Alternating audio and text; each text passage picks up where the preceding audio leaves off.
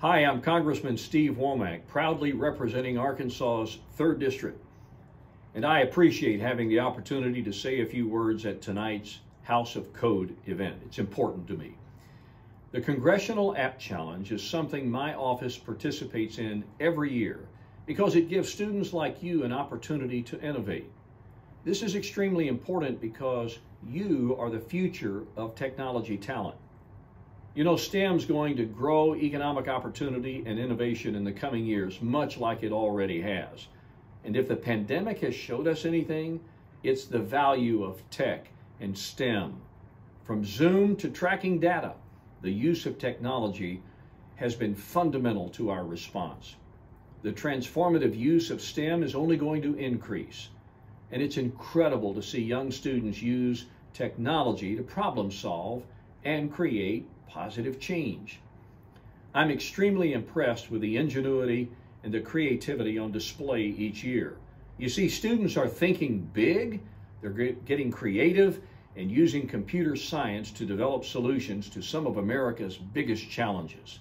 For example, the latest winner from the 3rd District, Vera Unum, used technology to solve a real world problem, this one in water. Vera's app, Soil Moisture Control, is focused on helping ag producers and farmers. This application tracks soil moisture for crops and houseplants and then allows the user to tap a button to water as needed. He saw a problem facing production agriculture today and created technology to help address it. Impressively, he had a fully functional program that utilized both software and hardware he developed. And he's only in middle school. Can you imagine that? I hope his work inspires other gifted students who are watching this to pursue STEM education and careers in technology. To compete in a 21st century global economy, young people must enter the workforce with unprecedented technological savvy. Competitions that encourage STEM education, like the Congressional App Challenge, are important in my judgment to growing our innovation and technology pipeline.